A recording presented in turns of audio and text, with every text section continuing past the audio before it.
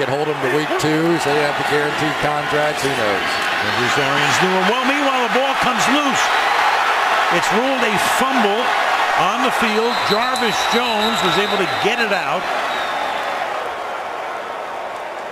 And was to get into some third and longs. There they were.